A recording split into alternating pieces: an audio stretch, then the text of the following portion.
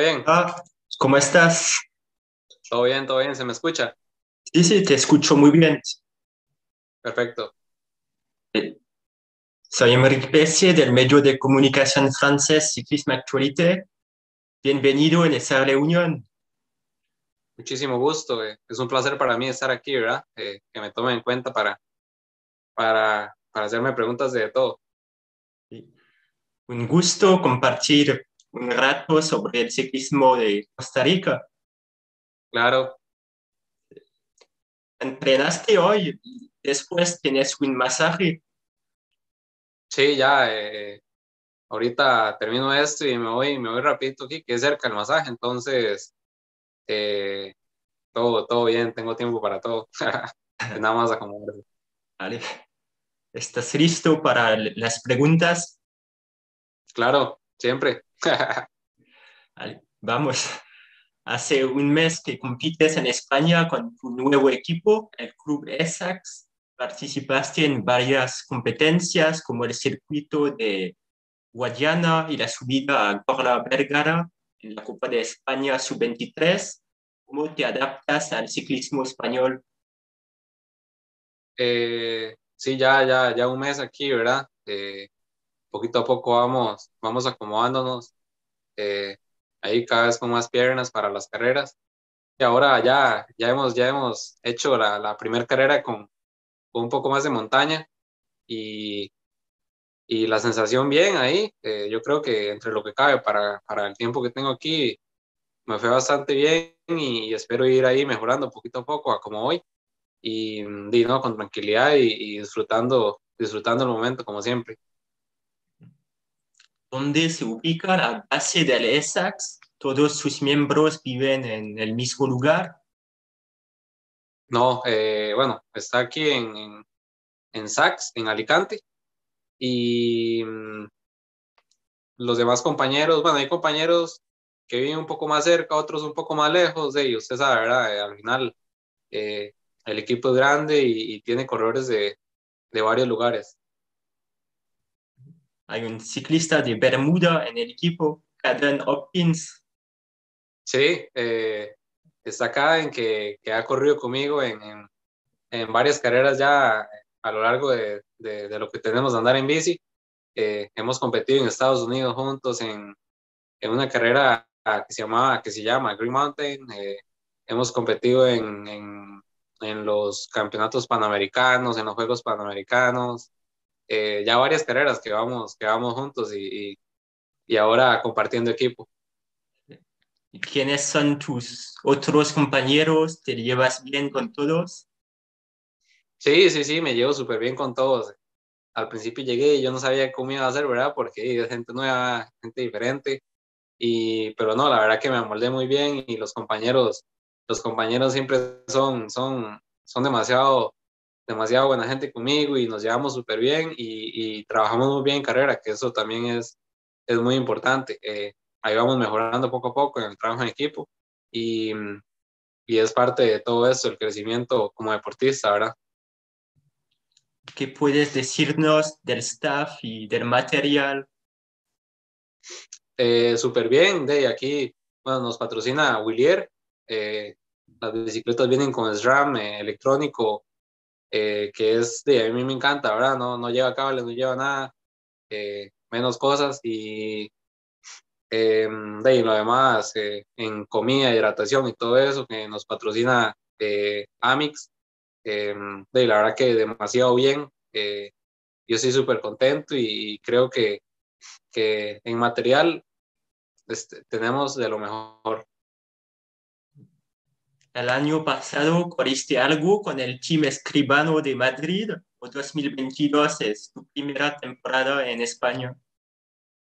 No, esta es la primera temporada. El, el año pasado eh, que había firmado con, con ese equipo, eh, por lo del COVID y todo eso, no pude viajar. Entonces, entonces al final me tuve que quedar, eh, me tuve que quedar en, en Costa Rica compitiendo eh, con el equipo 7C, que fue el que me llevó a correr en realidad todo, en todo, todo, todo lo que, lo que pude correr en, en, el año, en el año pasado. ¿A qué edad ¿Y cómo iniciaste en el ciclismo en Costa Rica? Eh, comencé, comencé en el 2012. Siempre me había gustado la bici, la verdad. Eh, y tenía unos amigos ahí que estaban metidos en ciclismo y me empezaron ahí a arrastrar un poco en, entre, entre la bici y todo eso y ese mundo del ciclismo y los ciclistas. Y mm, sí, al final, al final me terminó gustando a, a tal nivel, ¿verdad? Que aquí estamos. y ya después, después en 2016 o algo o por ahí, me fui a, Estados Unidos a competir y a competir. Em, y, ahora, y ahora cambiamos a, al viejo continente. ¿Cuál es tu perfil como ciclista? ¿Cuáles son tus fuerzas y tus debilidades? Eh, puña, eh, vieras que, que, me va bien subiendo. Eh, soy un ciclista, eh, diría yo que como de paso, pasista, ¿verdad? no soy así como muy de, de, de, de, de cuando se pone fuego eso y los ataques y todo eso no me va mal, pero tampoco soy el, soy el mejor. Y la contrarreloj me va bastante bien. Eh, creo que, que, tengo un buen, un buen, es un buen complemento para, para, para, para el tipo de ciclista que soy. Eh, subir y hacer bien la contrarreloj siempre es bien. ¿Cuáles son tu altura y tu peso? Ahorita, ahorita estoy, eh, estoy en 61, 61 y un poquito y mido eh, metro 71. A Kevin Rivera le dicen el lobo y a John Jiménez el león. ¿Tú también tienes un apodo así? No, no, no, a mí, a mí, a mí en realidad solo me dicen Rojas, siempre, pero sí, sí, me llaman por el apellido, pero, pero no, no, no, no tengo apodo de esos. Eh, el León, claro, ese es amigo mío. Eh, y Kevin Riera, un gran ciclista. ¿De dónde eres y de qué ciudad y provincia en Costa Rica? Eh, soy de, de, de, Alajuela, es eh, el cantón central, eh, vivo en, exactamente en Tuetal Norte y es un pueblito ahí que está como, como casi en el centro y mm, me encanta, me encanta vivir allá, ¿verdad? Y, y ahora, y ahora que estamos aquí son, son, son lugares diferentes, ambientes diferentes completamente, el clima y todo, pero, pero, pero la verdad que, que todo se disfruta. Costa Rica es muy conocido por su biodiversidad, sus volcanes. En Alajuela vives cerca de un volcán o de un parque nacional. ¿A qué altura estás? Um, Vivo, vivo cerca, cerca del, del, del volcán Poás. En realidad ahí es, esa es como la casa mía, ahí es donde paso entrenando siempre. Eh, siempre, siempre, siempre que me topa la gente es como, hey, voy para el volcán o algo así.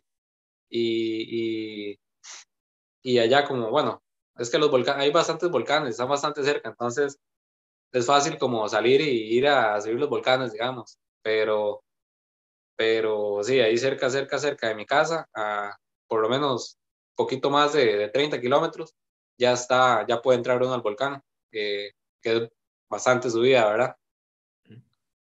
San José, la capital donde nació André Amador y Cartago, de donde, de donde es Kevin Rivera, creo que no están tan lejas de tu posición. ¿Sueles entrenar con ellos? Sí, sí, sí. Incluso, bueno, al menos con, con Andrei, sí, sí salgo a entrenar. Eh, me gusta salir a entrenar con Andrei y, y, y, sí, en Cartago y en realidad de mi casa a Cartago eh, duro una hora, digamos, en bici. Entonces, eh, incluso a veces uno, a veces salimos de, de, bueno, salgo de mi casa y, y me voy a, digamos, a, a subir el volcán, el volcán Irazú o algo así que ya está en Cartago y aún así llega uno y hace, eh, y además del desnivel y todo eso, hace uno un fotito ahí de, cuatro horas por ahí, cinco horas y, y, en realidad todo está cerca ya, ¿verdad? Un país pequeño, eso tiene, eso tiene ventajas, va uno a todo lado y está, está cerquísima todavía. Hay muchas grupetas, grupos de ciclistas donde vives para salir a entrenar. Claro, eh, yo creo, bueno, en Alajuela yo creo, yo creo que es uno de los mejores climas ahí porque siempre está así como seco y caliente.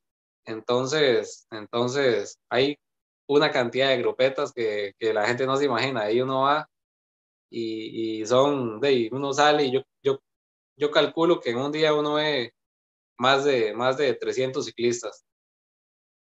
André Amador ganó una etapa del Giro de Italia en 2012, luego terminó cuarto en la clasificación general y visto la camiseta rosa.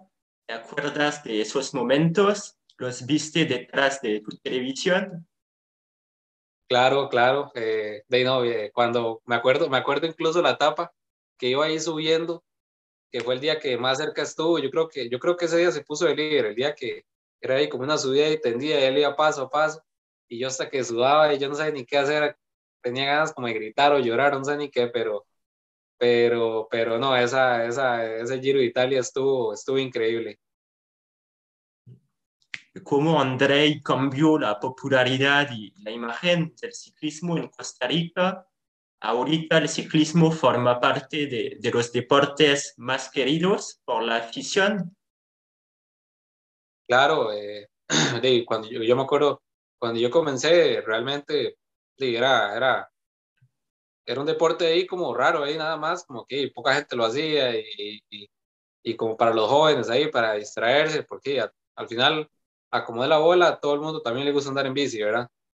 Pero, pero realmente no se hablaba mucho y, ya después de que, de que André, André empezó a ser de las suyas por ahí del 2014 en adelante, ¿verdad? Fue que ya más, más empezó a, a escucharse de todo y, y puña, después de eso, el ciclismo creció increíblemente, la verdad. Eh, eh, y del 2012 ahora, al 2022 es, y más después de pandemia, que, que creció todavía más, esto se hizo, de, no, en Costa Rica yo creo que, que casi que no caben los ciclistas por todo lado, andan por todo lado. Eso es bueno. ¿Cómo ves el desarrollo del ciclismo nacional? ¿Qué le falta para alcanzar el nivel del ciclismo colombiano o incluso ecuatoriano ahora? Eh, Puña, em, el ciclismo en Costa Rica tiene un gran, gran nivel, la verdad. Lo que pasa es que, eh, de, yo no sé, al final, que tiene mucho que ver qué tan dispuesto esté la gente de, salir, de salir del país y todo eso, que eso tiene mucho que ver, ¿verdad? Pero realmente, realmente hay un nivel bastante bueno. Eh, por ahí, por ahí ahora con tanta tecnología que está creciendo mucho más, eh, eh, está viendo más, mucho más nivel porque, porque ahora al final no hay pérdida, ¿verdad? antes, antes era a lo que, a lo que vinieran aquí ciclistas y se volvieran allá y enseñaran en cuanto a mejorar entrenamientos y todo eso, pero ahora, ahora todos son números y y uno sabe que si quiere estar en tal lugar tiene que estar a tantos números y, y al final eso, eso lo lleva a uno a ver maneras diferentes de entrenar, a leer y a leer y ahora eh, hay cursos de entrenamiento en línea y todo, entonces se puede aprender mucho más y creo que creo que estamos a un poquito de que empiecen a salir más y más ciclistas, como salen de Colombia y de, y de Ecuador y todos estos países, ¿verdad? Yo creo que, que, que realmente el ciclismo en Costa Rica está creciendo y no solo en cantidad, sino en, en calidad, porque ahora con esto de la tecnología y tantas cosas que hay, eh, la verdad que está creciendo, está creciendo y cada vez veo uno más, más jóvenes eh, andando a niveles demasiado buenos y creo que, que es nada más de, de, que ya empiecen como a poner un poco más de atención al ciclismo en Costa Rica y, y ya empezar a estar saliendo, a estar saliendo ahí poquito a poco, estoy seguro. Hace unos días hubo un gran fondo organizado por André Amador en Costa Rica. ¿Crees que este tipo de iniciativas puede ayudar para formar los jóvenes?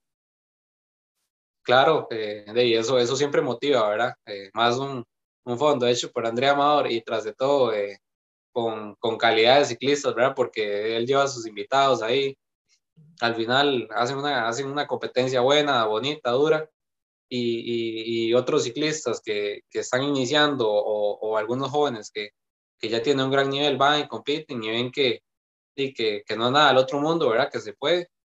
y, les da esa confianza para, para, para querer venir acá o, hacer lo que sea y ponerse las metas que gusten. Este año hay siete ciclistas chicos en la Copa de España. John Jiménez del Aluminium Ortizo, Dylan Jiménez en el Lizarte, Sebastián Calderón, Sergio Arias, Julián Madrigal y Jason Huertas. ¿Te alegra ver tantos compatriotas compitiendo en el mismo país? ¿Son amigos? ¿Ya los viste en tus primeras competencias? Em, ya, ya competí con, con, con Julián, con, con Dylan, eh, con Jason, con Sebastián Casalbolone. No, sí, Sebastián, sí. Y eh, con cuál más he competido, puña, se me va. Pero sí, bueno, con John todavía no he competido, pero, pero ya, ya, ya casi. Ojalá, ojalá que un día nos toque competir juntos en la misma carrera todos, ¿verdad? Pero, pero la verdad que está bonito. Después de que no había nadie en, España, de Costa Rica, eh, bueno, en Europa en particular, ¿verdad? Eh, ahora, ahora hay, hay, hay bastantes ciclistas y, y eso es buenísimo, como le digo, ¿verdad? Esto, es lo que va a abrir las puertas y todo eso. Y también hay uno en, en, Italia, creo.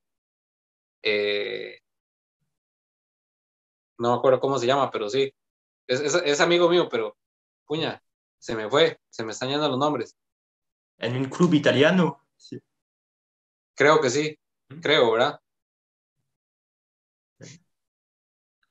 Y en diciembre del 2021 te llevaste la medalla de oro en la prueba de ruta de los Juegos Panamericanos de la Juventud en Cali, en Colombia, delante de Germán Dario Gómez, el Colombia Sierra de Atletas y Martín López, que está ahora en, en el Astana, en el World Tour. Esa victoria muestra que estas dos naciones, Colombia y Ecuador, no son invencibles en el continente. Y eh, no imagínense, ¿verdad? Eh, fue una buena carrera. Al final eh, logré llevarme a la carrera y, y, y, con ciclistas tan grandes como, como esos que usted acaba de mencionar, ¿verdad? Eh, a veces uno va a correr a Colombia y todo eso y es como, oye, lo ven a uno como, como sí, son, son buenos ciclistas, pero, pero van a ganar un colombiano, va a ganar el ecuatoriano, va a ganar alguno, ¿verdad?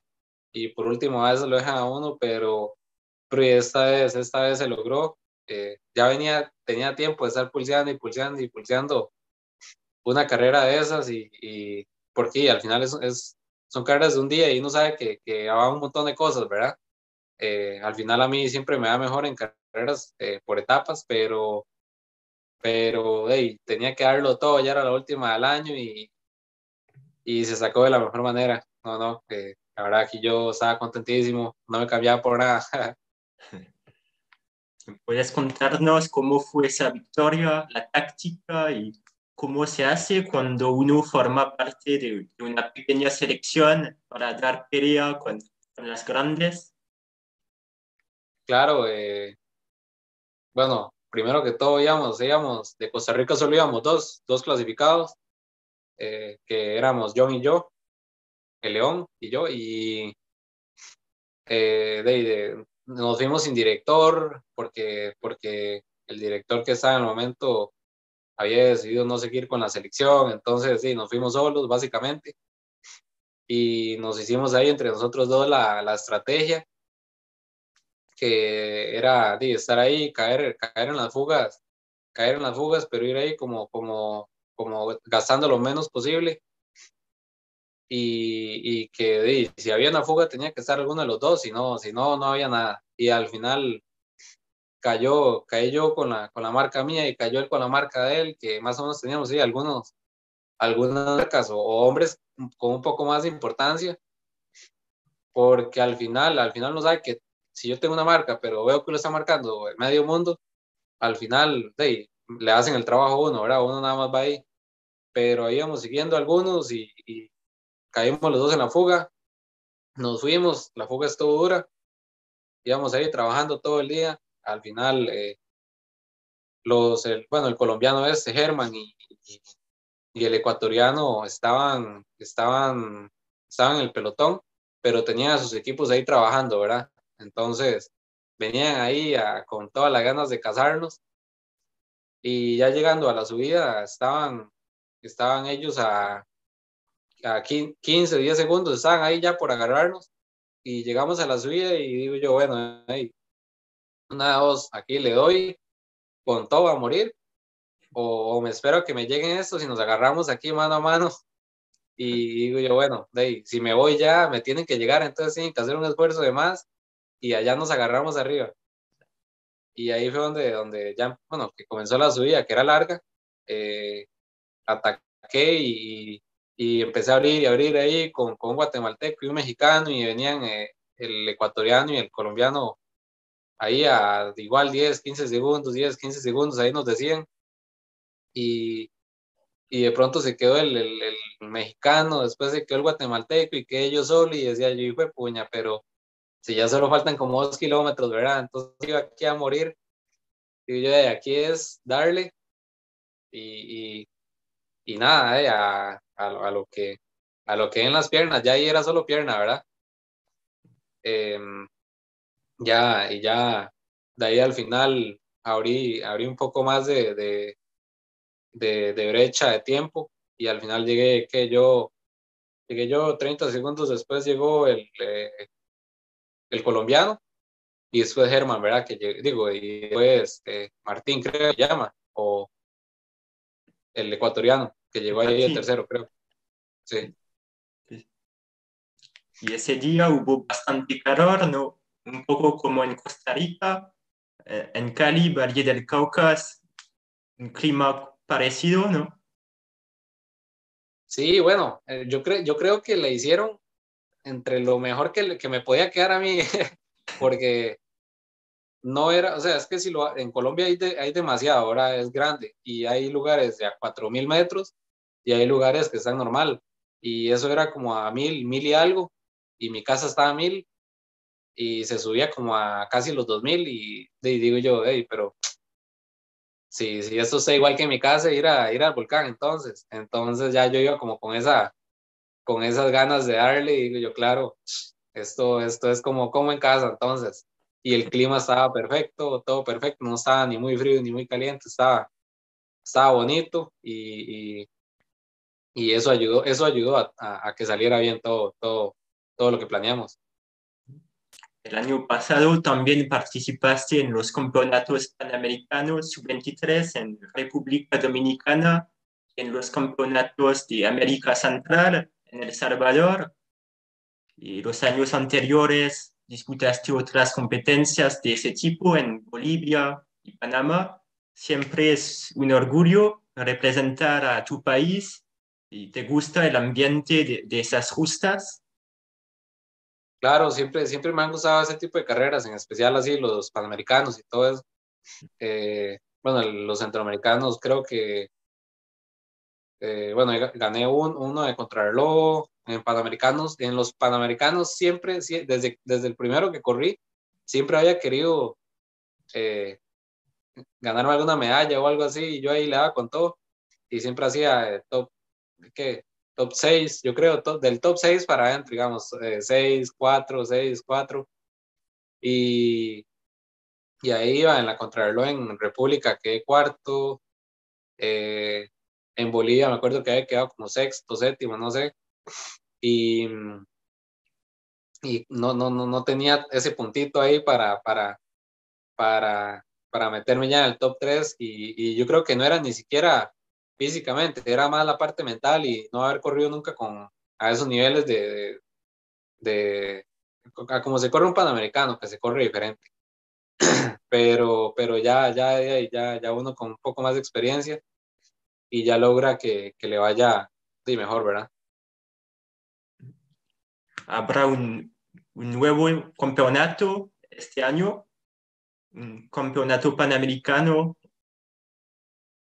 Eh, este año los campeonatos panamericanos son este mes que, bueno, el mes que en mayo, en Argentina, si no me equivoco, el 12 y el 14 ya lo tengo apuntado, pero igual al final yo estoy aquí, no sé si, si, o sea, a mí me encantaría ir, yo creo que, que aprovecharía uno la forma y, y, y, la condición física que tengo en el momento por estar aquí compitiendo, pero, pero no sé qué tan, qué, qué tanto puede, puede manipular la federación para, para poder llevarlo a uno, porque es un gasto, es un gasto grande para ellos, ¿verdad?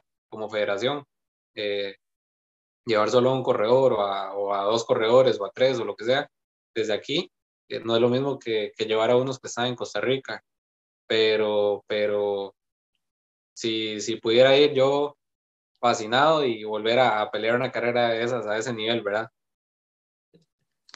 En 2019 formabas parte de, de un equipo continental, el Aibolo, en Estados Unidos, ¿Qué aprendiste con ellos participando en competencias como el Tour Colombia 2.1, el Tour de Utah? Y, eh, Tour Colombia, eso estuvo durísimo, durísimo. Ahí sufrí.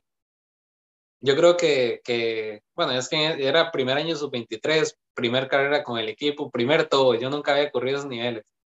Y correr el Tour Colombia 2.1 con, con Froome y todo, con el Sky, con todos los mejores equipos eh, yo estaba ahí, contentísimo, pero, pero terminar era, cada día yo decía, uy, hoy me retiro mejor, y no, no, y yo seguía y seguía y seguía, y terminé la carrera, pero, pero puña, ahí terminamos dos del equipo, nada más en esa.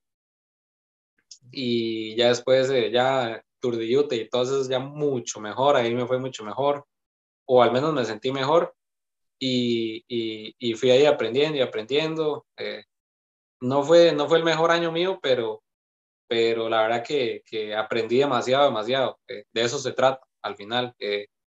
correr allá me, me, me, ayudó a aprender demasiado sobre ciclismo, sobre eh, cómo, cómo, cómo andar yo mejor y todo eso. Porque a mí a veces me afectaban alergias y esto y lo otro, y yo no sabía. Y entonces, poquito a poco ya yo decía, bueno, a mí cuando vengo a tal lugar me da alergia a esto a lo otro y ya uno completamente se le cae todo el, por más duro que ande, eh, eh, uno con, con, algún problema que no sabe, ya, chao. Pero ahí fui aprendiendo y aprendiendo y ya, ahora que me vine para acá, ya sabía qué me afecta y qué no, entonces ya venía con toda la, con toda la pata para, para, para afrontar eso. Un sueño poder competir en el Tour Colombia figuras como Chris Froome y el Team Sky, como dices, Egan Bernal, Aigro Quintana, Rigoberto Urán. Superman López, que la ganó, yo creo, y a la Philip ganó una etapa. Uf, yo decía, hey, aquí estoy, aunque sea estoy viendo la historia, pero porque esa gente, carrera que va, es carrera casi en historia y, y, y poder ser parte, por lo menos, eh, casi, casi que yo iba compitiendo, pero era como espectador, porque ahí yo nada más viendo. Pero no, yo demasiado contento y de verdad que fue, eso era, eso era algo que yo quería hacer, la verdad, competir con ellos. Creo que también participaba Kevin Rivera con el Androni Tocatoli. Sí, sí, sí, estaba Kevin Rivera con el Androni. Me acuerdo, ahí, ahí estábamos hablando y todo. Eh, la carrera durísima, entonces a veces, a veces, a veces nos quedábamos, íbamos ahí, ya uno no sabe ni cómo llegar, pero, pero por lo menos ahí íbamos hablando y divirtiéndonos, ¿verdad? cómo se organizaba el equipo, dónde vivías en, Estados Unidos. Eh, eh, bueno, yo me fui en el 2016, ¿verdad? Ahí estuve, andaba casi siempre en Tennessee. Y ya cuando, cuando eh, bueno, en 2019 que estaba con Abolo, ellos me dejaban como estar más en Costa Rica y eso, porque, y para entrenar y todo eso. Entonces, entonces casi que me iba faltando una o dos semanas para las carreras y, nos quedaba, y me quedaba en alguna casa de, del equipo, porque me acuerdo que casi siempre nos quedábamos en California o, o, o, si la carrera era muy larga, entonces lo mandaban, me mandaban a alguna casa por ahí eh, cerca de la carrera y, y, me, y me mantuve en eso casi todo el año, yendo y viniendo. ¿Y por qué no seguiste con el equipo? ¿Fue por la pandemia? Sí, sí, sí, y comenzó la pandemia y todo se fue. Todo se fue y chao, ¿verdad? Porque eh, el equipo se redujo, eh, igual no compitió nada, Yo, hasta este año están compitiendo otra vez, porque en Estados Unidos sí que no, no hicieron, pero carreras de nada, ¿verdad? Hasta, es más, ahorita, ahorita no están compitiendo mucho todavía. Entonces, incluso ahora vi que están, están corriendo aquí en, en Europa, en algún lugar, no me acuerdo, pero, pero están compitiendo aquí y, y, son de las primeras carreras que hacen después de, casi que después de pandemia, imagínense que comenzó en el 2020. Eh, es una lástima porque es un gran equipo, pero, pero de ya, ya, ya, y yo, yo tenía ganas como de, como de, de hablar con ellos porque al final son amigos míos, más, más que mi equipo son amigos, ¿verdad? Pero, pero, de ya después del Panamericano y eso, eh, me salió esta oportunidad que me, que, me ayudó enormemente eh, Diego Milán, que es el, el, el representante mío, y, y, me ayudó a, venir acá. Eh, y la verdad que aproveché eso y es un gran momento y creo que, y no, la verdad sí muy contento. Y luego te uniste al equipo 7C, ¿es eso? Sí, eh, bueno, todo el 2020 en el 2020 lo que corrí fueron centroamericanos y todo, y carreras con la selección. Entonces ahí no, no, en realidad no ocupé equipo, además de que en Costa Rica no había nada. Y en el, y en el 2021, el año pasado, eh, fue cuando, cuando, cuando ya me uní con el 7C, eh, como a mitad de año, cuando, cuando ya yo me di cuenta que no iba a poder, a, no iba a poder venir a correr con, con el equipo de acá. Y, y, ya, ya después de eso, ahí me mantuve todo el año corriendo de todo, porque fuimos a correr un montón de carreras con, con el 7C. Ganaste dos veces la clasificación de mejor joven en la Vuelta a Chiriquí en Panamá y participaste en el clásico RCN en Colombia. Fueron dos competencias importantes en tu desarrollo. Claro, eh, bueno, en el, en el 2020 quedé segundo en la, en la sub-23, eh, digo, primero en la sub-23 y segundo en la general de élite. Mm. Le anduve cerca, cerca. Y ya, y en el, y en el 20, eh, bueno, y el año pasado, eh, quedé ahí en la sub-23, la gané y no me acuerdo de qué quedé en la, yo creo que quedé como sexto, algo así en la, en la élite. Y fuimos al clásico RCN, que eso sí que estuvo eso estuvo duro, duro, duro.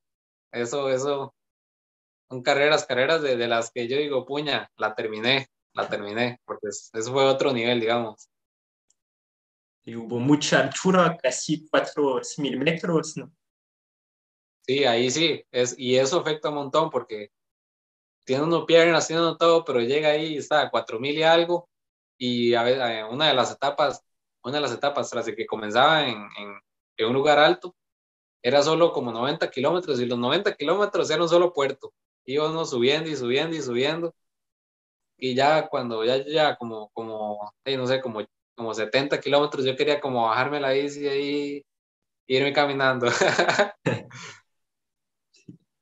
¿Conoces tus próximos objetivos y tu calendario? Ahora lo que, lo, la que sigue, bueno, el domingo, Torre Jimeno aquí, eh, de la Copa España. Eh, después la Vuelta a Portugal del futuro, o sí, sí, esa. Em, y la Ardenas Challenge en, en Bélgica. ¿Tienes una competencia en Bélgica?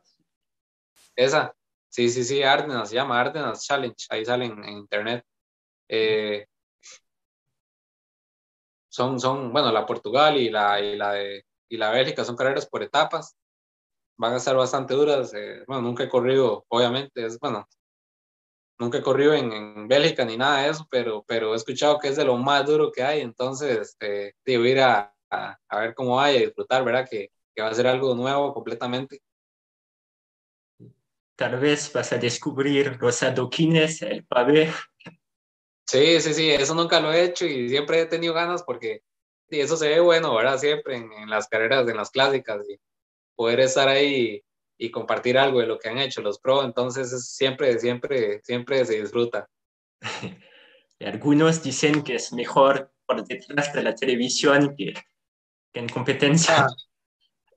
Sí, sí, sí, dicen, siempre dicen que, que, que cuando uno está ahí, si siente eso, sufre, ¿verdad? Pero, pero hay que sacarle algo bueno y es que, que, que ahí han estado los mejores, entonces hay que, hay que disfrutarlo igual.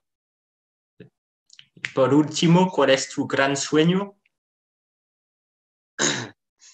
Puña, tengo un montón de metas, la verdad, pero eh, un sueño así, a largo, largo, largo plazo, eh, eh, algún día estar en, en, los profesionales con los World Tours y, y, poder, poder estar ahí con los mejores.